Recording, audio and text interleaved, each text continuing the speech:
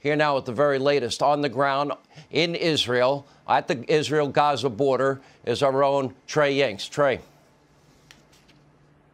Sean, good evening. A massive escalation tonight by the factions inside Gaza who fired dozens of rockets towards Israel's second largest city, Tel Aviv. Just before we came on with you here, Sean, there were more rockets fired from the Gaza Strip, and we saw different barrages from different areas of Gaza.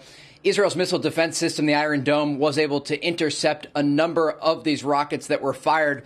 But unfortunately, according to Israeli media, there has been another fatality. They're looking into other injuries after certain rockets impacted areas in central Israel.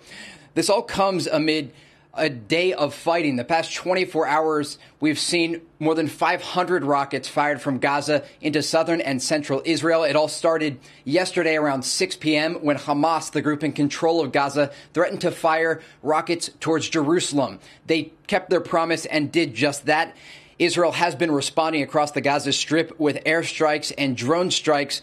We do know inside Gaza, according to the Palestinian Health Ministry, at least 30 people are dead, some of them children.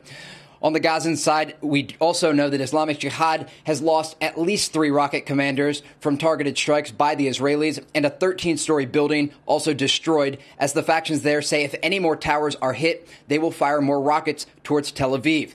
Israeli Prime Minister Benjamin Netanyahu says that he will use all the force that he can to restore security to the area.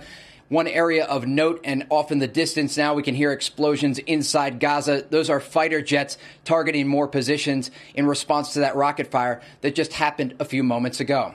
Sean. All right, Trey, great reporting, by the way. Stay safe.